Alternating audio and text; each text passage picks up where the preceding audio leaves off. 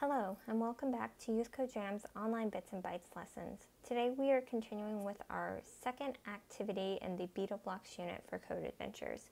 Um, we will be working on how to draw a cube today. So if you watched the first video or were able to come to the first live lesson of this unit, you learned how to draw a two-dimensional or 2D square in this workspace.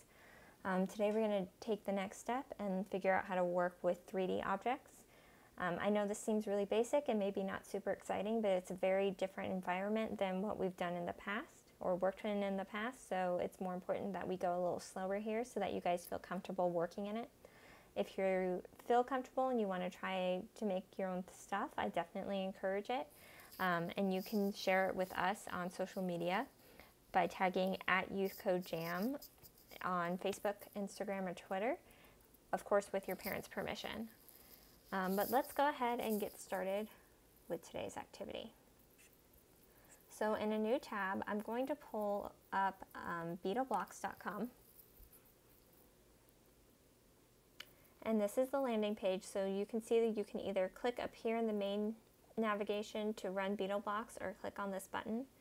Um, you can kind of see that this tool is definitely used for drawing shapes and the idea I think is to be able to print 3D objects if you have the capability. We don't, but that's okay, we can still play around with it. Um, if you are interested in this kind of work, check out these other programs or drawings made by other people because there's some pretty fun ones here. That looks like it's supposed to be New York City.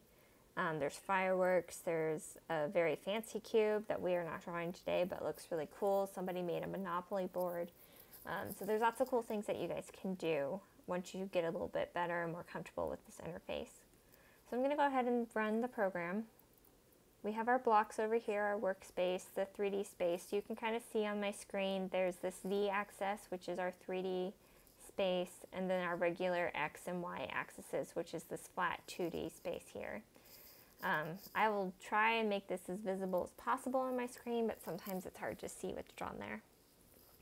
All right, so the first thing we're going to do is go to that control drawer and get a when green flag clicked block. So this will start our program. Then get the reset block, so that clears our screen of anything that might be on there. And finally, we're going to get this repeat 10 block and change the 10 to a 4. Um, so what we're going to draw here, the first thing we're going to draw is the top of our cube, and then we'll draw the bottom, and then we'll draw the sides that connect it, or the pillars if that's what you want to call them. Okay, so like I said, we're going to draw that top of the cube first, which is going to be the same as drawing the square we did in activity 1. So head on over to the shapes drawer and get this start extruding curves block and place it inside the repeat block. Use the drop down to change curves to lines. And while we're here, go ahead and get this stop extruding block. Then head over to the motion drawer and get this move one block, place it between our start and stop blocks. Change one to five. So that will draw a line that is five units long. Um, and because we're repeating that four times, it will actually draw the line four times, which gives us a square and will lead to the cube. So with squares and cubes, all the sides are the same length. Finally, we're going to get this rotate Z block, place it under the stop block, and change 15 to 90. And we're using 90 because squares have 90 degree angles or right angles, so that's why we have that. So if I go ahead and run that, we're going to have a square, just like we did in the draw 2D square. So the next thing we're going to do is move up our z-axis so we can draw the, I guess we are actually drawing the top here. All right, so still in the motion drawer, go ahead and get this, um, go to x0, y0, z0 block. And to move up along the x-axis, we're going to change this 0 after the z to a 5. Because again, we want everything to be 5 units long. So we're going to repeat the code we did up here.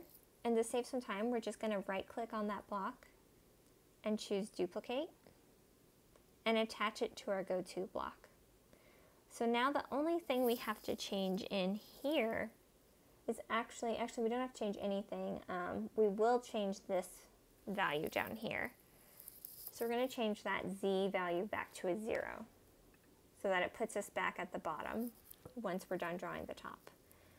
So if I run that now, we have a cube kind of floating up in the, or a square floating up in the air, a square on the bottom. Our cursor is down here, so we moved it up and drew the sides, and then our beetle or our cursor, whatever our tool, is back down here at zero. And now we need to go about drawing the lines that will connect the top to the bottom. So again, we're going to have a lot of code repetition, but we're going to show you some shortcuts to work with it. But let's draw our base one first. Still in the motion drawer, get this rotate Z by 15 block. This time we're going to change Z to Y and still keep 15, change 15 to 90. Okay? And then we're going to go to the shapes drawer and get another start extruding block, change curves to lines, and then get the stop extruding block. And head back to the motion drawer, get that move block and change the 1 to a 5. So all of this, it's very repetitive, but it keeps our square the same size. So now if I run this, we have one, um, one connecting line between our top and bottom cubes. Okay, so like I said, we're going to have a lot of repeating code. So we're going to do that shortcut again and make this code from go to to stop. We're going to make repeat that three times. So right click on go to and hit duplicate. And to make this easy and clear, I'm going to drag this over into my workspace and duplicate from here and just have these as my basis.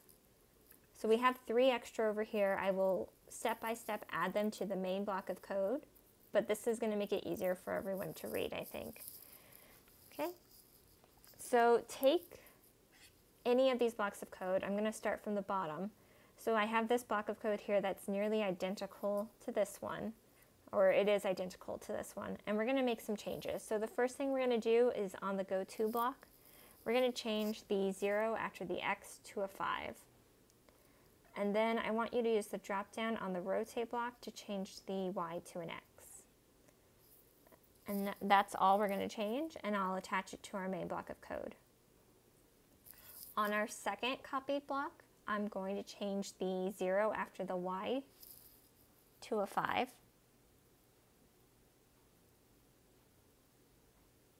Yes, sorry, I was checking. And then same thing, I'm going to change the y in the rotate block to an x, and then attach that to the bottom of our main code. So if I go ahead and pause and run this real quick, you'll see we have one, two, three lines. I just have to draw that last one. So that last one, this empty one up here, we're going to change the 0 after the x to a 5 and the y to a 5. And one more time, we're going to change that y value and rotate to an x. And then attach that to the very bottom of our code. So now if we run this, you can see by kind of moving your screen around here that we have a cube. Um, so that is all we had to do today for the main activity. So you can try changing the color of your cube. There's a drawer called Colors that has a lot of cool things that you can uh, test out and see if you can figure out how to draw other three-dimensional items. So you could draw a pyramid or a sphere. I'm trying to think of what the 3D names are, but 3D versions of 2D items. See if you can add that dimension to it. Um, and if you are looking to come to a live session, head over to youthcodejam.org. Under Jam at Home Virtual Activities, click on Bits and Bytes Online. And we'll have, so here's the generic information about us, about the Bits and Bytes Club. Here's the current series, so this video is being made a couple weeks in advance, so this was when we were doing Puzzle Club. But this link right here, this register for the live session, it doesn't matter what unit's currently going on, you can take it here and if it's available, um, you'll be able to sign up for the next, at least the next week's activities, um, if not the whole month's activities, depending on your schedule.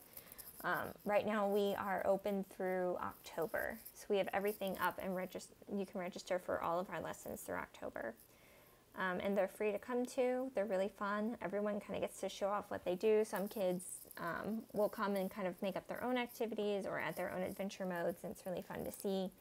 Um, we help each other out it's a it's a fun hour online. It's not like school. Um, it's more relaxed. We're learning, but in a very relaxed environment. So you can see here we had um, tangrams last time we had it. So our most recent lesson will be here with any materials underneath. Not everything will always have materials, and some of our stuff won't even have a video depending on what we do that week.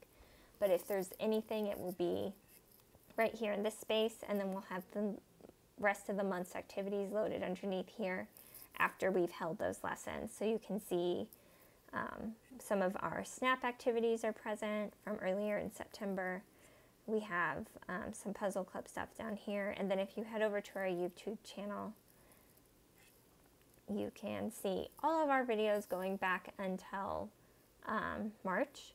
Now with these, there's no materials attached to it, so it's just the um, it's just the videos that you can watch and follow along with. You will not have the activity sheets available from here. Um, but that's about it. Quick shout out to our sponsor slash community partner, um, Palo Alto. They are helping us make this possible to bring to more students, and we're really excited to be working with them and to reach more students both in San Antonio and around the country. Um, I hope to see you guys at the live lessons. If that's not possible, I hope you continue to watch these videos and enjoy it.